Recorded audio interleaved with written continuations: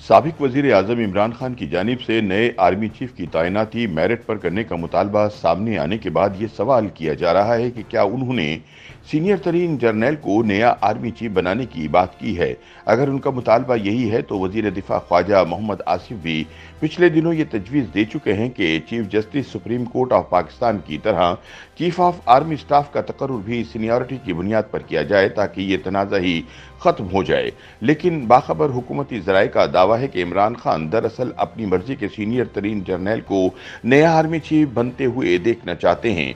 उनका कहना है कि जनरल फैज़ हमीद के आर्मी चीफ बनने के इम्कान मादूम होने के बाद अब Imran Khan core commander Rawalpindi, lieutenant general Sahir Shamshad को आर्मी चीफ देखना चाहते हैं कि जो जनरल फैज़ हमीद के लंगोटिए यार भी हैं। फैज़ हमीद और साहिर शमशाद दोनों का ताल्लुक चकवाल से है।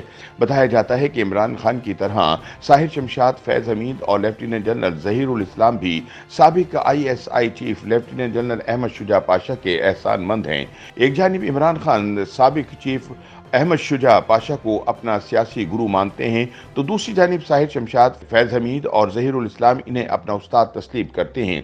याद रहे कि अहमद शुजा पाशा ने जनरल अशफाक कियानी के दौर में बतौर आई एस आई चीफ जो सियासी कीड़ा पाला था वो इनके बाद फिर जहीरुल इस्लाम और फिर फैज़ हमीद को विरसे में इन्हें मुसलसल तंग करता रहा। ये कीड़ा अब भी ज़िंदा है और नए चीफ को भी तंग कर रहा है।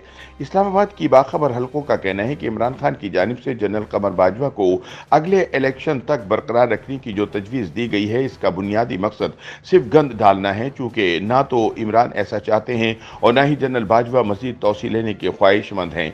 बताया जाता है कि इमरान इस वक्त पसपर्दा साहिद शमशाद के लिए लॉबिंग कर रहे हैं, जिनके लिए जनरल कमर जावेद बाजवा भी नर्म गोशा रखते हैं। जरा याद दिलाते हैं कि इमरान खान ने नवाज़ शरीफ और आसिफ जरदारी को नया आर्मी चीफ तैनात करने से रोकने की बात करते हुए मुतालबा किया था कि फौजी सरबराह का तकर्र बैरिट पर किया जाए।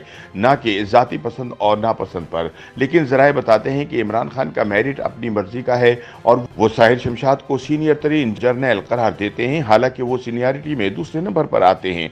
असल मसला यह है कि इमरान किसी सूरत सबक आई एस आई सरबरा लेफ्टिनेंट जनरल आसिम मुनीर को नया आर्मी चीफ बनते हुए नहीं देखना चाहते, जिन्होंने बतौर वज़ीर आज़म आसिम मुनीर को अपने अहदे की मैयाद मुकम्मल नहीं करने दी थी और इसीलिए उन्होंने आर्मी चीफ की तकरूरी को मुतनाज़ा बनाने की कोशिश की है।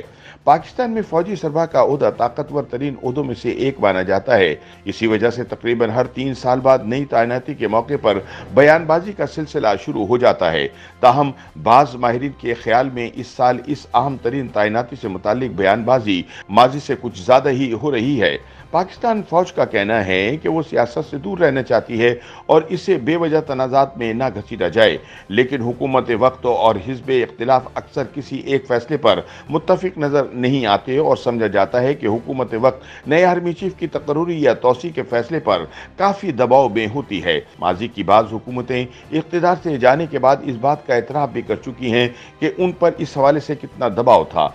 नए आर्मी चीफ की तकरूरी पर सियासत को ख़त्म करने के लिए आर्मी एक्ट में तब्दीली करके सीनियरिटी की बुनियाद पर तकरूरी की जाए तो इसके गिर्द सियासत ख़त्म हो सकती है, लेकिन दिफाही तजिया का lieutenant general retired Amjad Shoaib का कहना है कि आर्मी चीफ की तैनाती में सीनियरिटी सिर्फ़ एक अंसर हो सकता है, लेकिन इसमें किसी अफसर की काबिलियत और ग्रूमिंग के अवामिल भी शामिल होते हैं। बाज़त अली सतह के अफसर के पास कोई ख़ास काबिलियत नहीं होती, इसलिए तीन चार अफराद का मुआजना किया जाता है। उनका कहना था कि अगर पाकिस्तान को देखा जाए तो यहाँ सियासतदानों के जाति मफादात हैं। यहाँ आर्मी चीफ के इंतखब में सियासी जाविया हमेशा हावी रहता है, इसलिए एक मैार बनाया जाना चाहिए। उनकी तजवीज़ थी कि कौमी सलामती कमेटी के ज़रिए तमाम अफवाज के चीफ ऑफ़ स्टाफ का इंतखब किया जाए और इसकी सदारत वजी अजम को करनी चाहिए, जहाँ कमेटी अरकान इस मामले पर राय दें। चूँकि ये अरकान प्रोफेशनल होंगे तो इस हवाले से सियासी हल्के को फैसला साजी में भी आसानी होगी। दिफाई तजियाकारों का कहना है कि सीनियर तरीन होने का मतलब ये नहीं है कि जर्नैल इतने ही तजर्बाकार भी हो।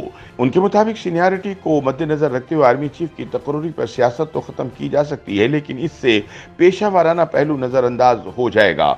उनका कहना है कि अक्सर तजवीज़ दी जाती है कि चीफ जस्टिस सुप्रीम कोर्ट की तरह आर्मी चीफ की तैनाती भी सीनियरिटी की बुनियाद पर की जाए, लेकिन इसके लिए आइन में तरमीम करना होंगी। लेकिन कुछ तजियाकारों का मौकफ है कि आर्मी चीफ की सीनियरिटी की बुनियाद पर तकर्री से सियासत ख़त्म नहीं होगी और ना ही तमाम लेफ्टिनेंट जनरल्स इस अहदे के लिए मुनासिब होते हैं।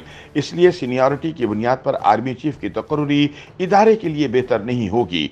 इसे इसी तरह जारी रहने दिया जाना चाहिए था, जैसा किया जा रहा था। लेकिन इमरान ने तैनाती के मामले पर सियासत की और इसे मुतनाज़ा बनाया।